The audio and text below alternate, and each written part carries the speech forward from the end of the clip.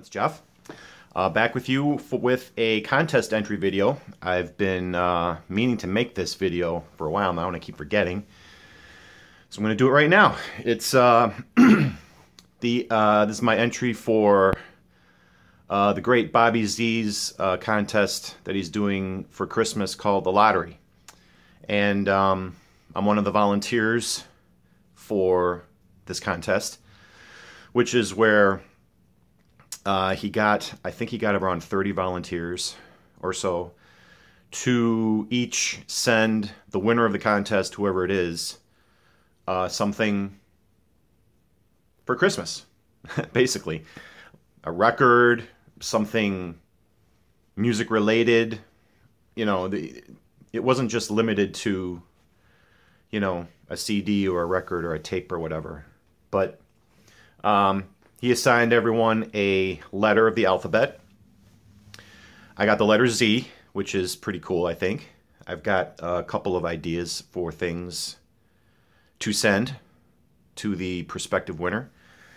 And um, I figured I'd enter the contest too and take my chances. So the theme of the contest is uh, it's called like the Three Ghosts, where you would pick three musicians that have passed on, and you would invite them to a Christmas dinner party. So, um, I've watched a couple of other entries. One of my picks, I think, coincides with the vinyl verses, and you'll see. But uh, for me to, to decide who I would really like to meet and or talk to at this Christmas party.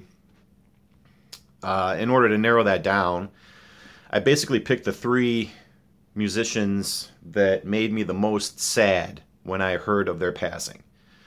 You know, every year as the years go by, more and more of these classic rock artists, you know, from the 60s and 70s, and even into the 80s now, because that's already 30 years gone, are slowly dying off you know, and you hear of this one and that one, and you're like, oh, wow, that's a shame. But it doesn't really affect you that deeply. But these three that I'm going to show you, I was genuinely sad that they had gone. It's not that, obviously, not because they're close personal friends, but just because their music and their, you know, their style, their look, their attitude towards life, you know, besides their music and their art, really, you know, meant a lot more to me than just your average singer or guitarist or musician. so that was the criteria I used. It's getting a little coffee in here. That was the criteria I used to make my, my choices.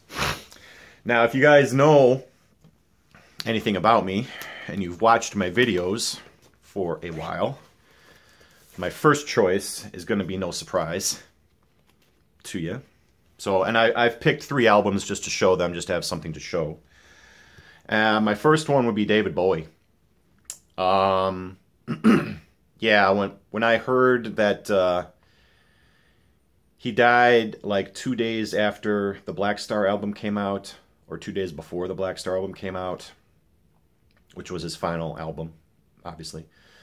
Um, I was really, really sad. I was really bummed because I had been slowly tracking down his albums I that I'd lost, and um, I'd been a fan of his music for so long, and it's just one of those things where you know you, you get hit with that fi- the finality of it all. You know, it's like we're never going to get another record from this guy. We're never going to get another album. He's, he's never going to um, point the way for us, basically, because you know Bowie was one of those guys. He was like a trailblazer. You know, he helped uh, start up the whole glam rock thing with Ziggy. You know, he had he, he had these he developed these characters besides just songs and albums. You know, he had the Thin White Duke, which is my personal favorite. That mid 70s era with Station to Station and Low and this album here, Heroes and you know, and even in, into the 80s, you know, when he made his big commercial album. But he did it his own way, you know, and he had a monster hit with it, which I was happy for. But um, he was just one of those guys that you, never you, you never think they're gonna they're gonna go. so, uh, yeah, I, I played Blackstar when I I pre I'd pre-ordered it, so it, it arrived, you know, right after the news of his passing, and it was probably one of the saddest experiences I've had, you know, for, with listening to an album for the first time. So, and I'm, I'm, that's not dissing the album; it's a great album, and it would have been a great comeback for him between that one and, and the one he put out the year before called The Next Day, which used this cover but covered his face up with a big white square, which I thought was pretty cool too. You know, recycling his own album artwork, photog- or picture, and, and doing something different with it. You know, because that was another thing. Bowie was an artist. I mean, he wasn't just a musician. He had a, I guess he'd had a very massive art collection. He was a keen collector of it. And there were many facets to him besides just music. You know, there was fashion, there was art, he was an actor. He was in movies and plays. You know, he kind of he kind of did it all, but he was able to do it all well. So I think it would be it would have been massively interesting to have him come to my Christmas party because I think he would be just a massively interesting person to talk to. You know, just person to person. So uh, this would be my first um, ghost, if you will, for my Christmas party, uh, David Bowie. for sure, David Bowie. That was, and when I first learned about this um, contest, that was the first person that I immediately thought of that I knew was going to be in it. uh, the second ghost was another. Um, all three of these guys are British, so there's a little clue for you. My second one is going to be Joe Strummer, and there he is right there and this is from The Clash's, their first album. Probably one of the greatest debut albums ever, in my opinion.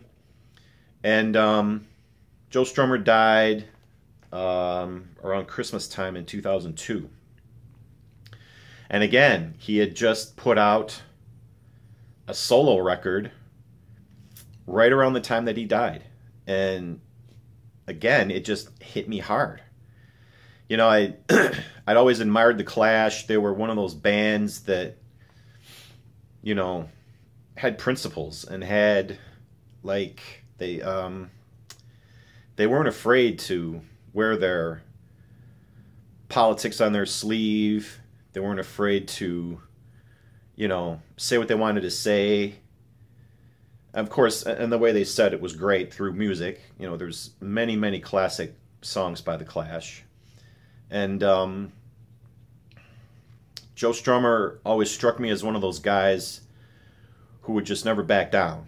You know, he, wasn't afraid of anything. You know, in terms of expressing himself or in terms of backlash, like you probably would get today. My stupid neighbor is going to fire up his leaf blower, and it's soaking wet outside. All right, I'm going to try and wrap this up quick.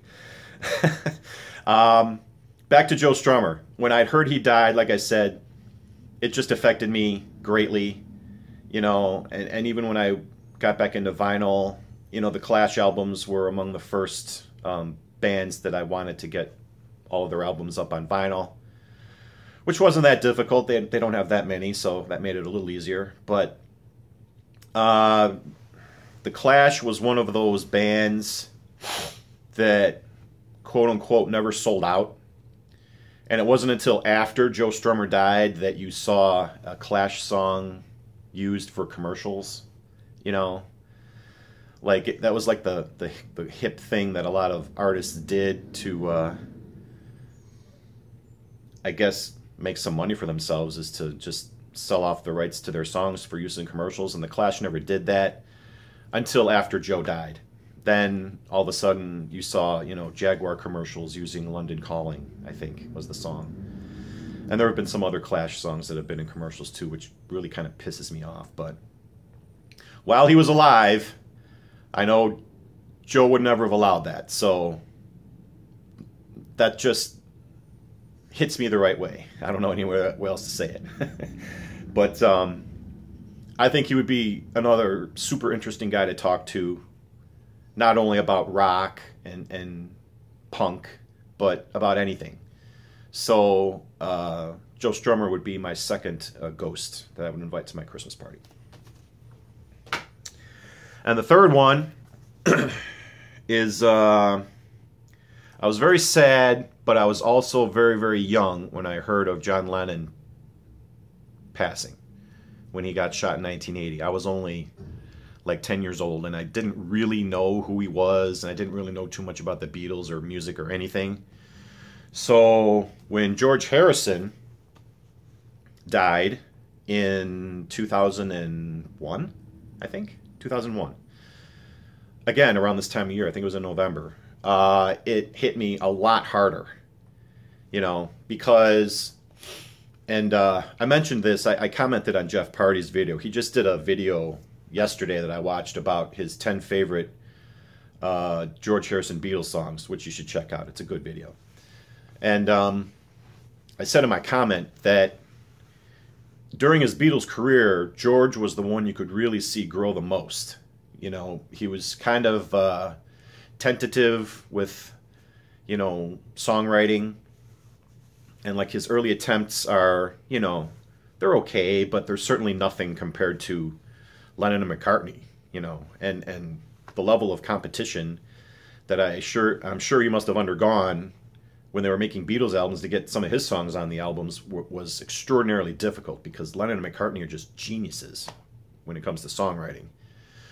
But over time, uh, George Harrison grew, and I would say by by the end, unfortunately, of their career as the Beatles, he was easily on par with the songs that Lennon and McCartney were putting out. And then, of course, by the time this album came out, All Things Must Pass, he had so many songs in his backlog that it just kind of exploded out of him. so that's why this uh, album, it's a triple album, but um, the third disc, I think, is just a jam session that he did. But for the actual songs that he recorded for this album proper, it's fantastic. It's one of the best double albums or triple albums ever. And this is easily my favorite solo Beatles album. Easily.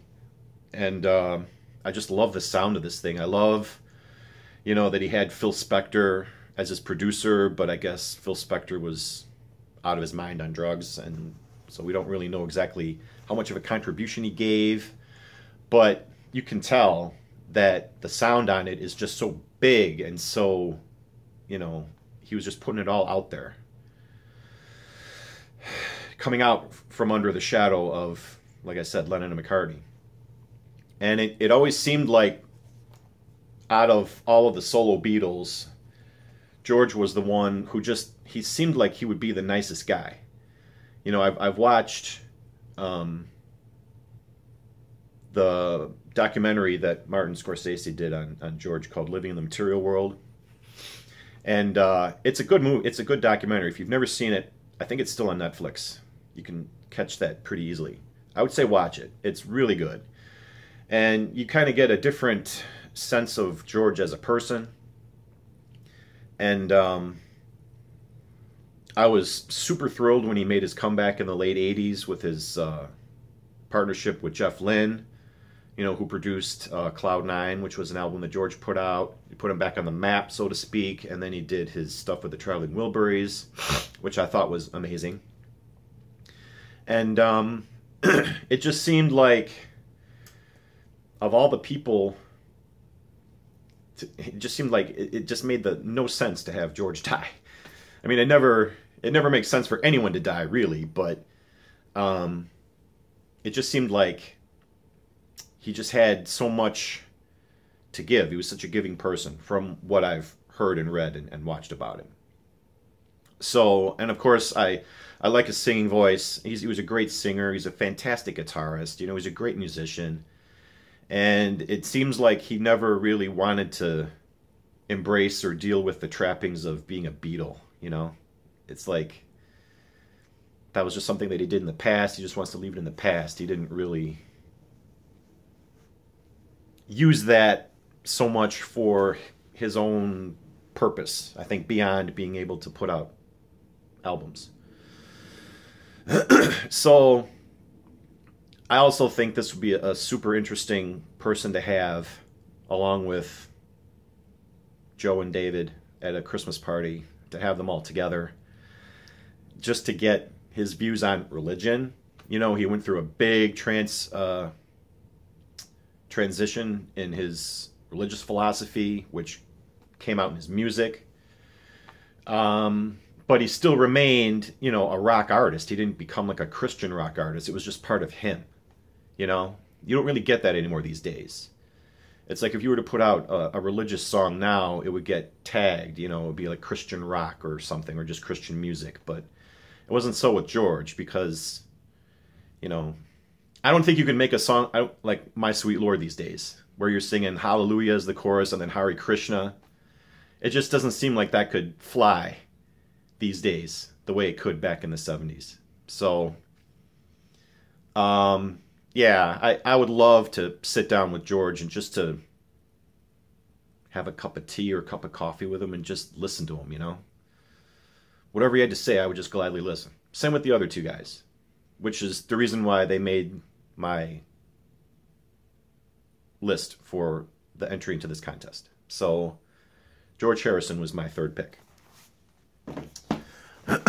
and uh, the last part of the contest is you have to pick a charity uh, for, or whoever wins, the, the, the other contestants, the other volunteers will donate to that charity.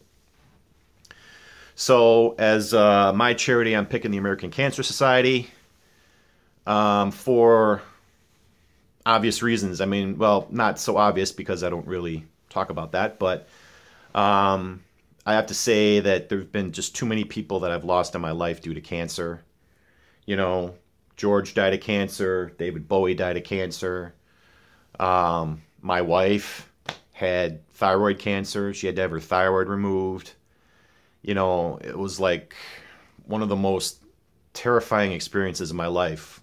And I'm I'm going to be open and honest with you guys, so don't bash me one of the most terrifying experiences of my life was uh, coming into the uh, post-op room right after her surgery when she was coming out of anesthesia because she'd had to have her thyroid removed because it was loaded with tumors and it was it was you could see this bulge on her neck and it was make actually pushing on her esophagus making it hard for her to breathe. And uh, her thyroid had to be completely removed but they cut her literally almost from ear to ear. It's it started like back here and it went all the way down here, all the way down to here. And that was easily the most terrifying experience I think I've ever had. uh, so, and then uh, my wife's cousin had a double mastectomy. My wife's best friend had a double mastectomy. Um, it just seemed like two, three years ago when she had her surgery, everybody we knew had something to, to deal with cancer. And it's just, pardon my French, it's just a motherfucker. So my, uh, my charity, should I win, is the American Cancer Society because there's got to be some way to stop it. There's got to be. And if anyone's going to do it, hopefully it's going to be them. So uh, yeah, that's my pick. So that's going to be it for my entry. I'm going to try to get this uh, done in less than 20 minutes. I'm closing in on the end here. So um, good luck to everyone else that's in the contest. I won't crap out with the gift. If I don't win, that's not an issue. You can count on me, Bobby. I got you. So, um, everyone else, take care. Peace to everyone. Merry Christmas, and uh, I'll be back soon. Take care.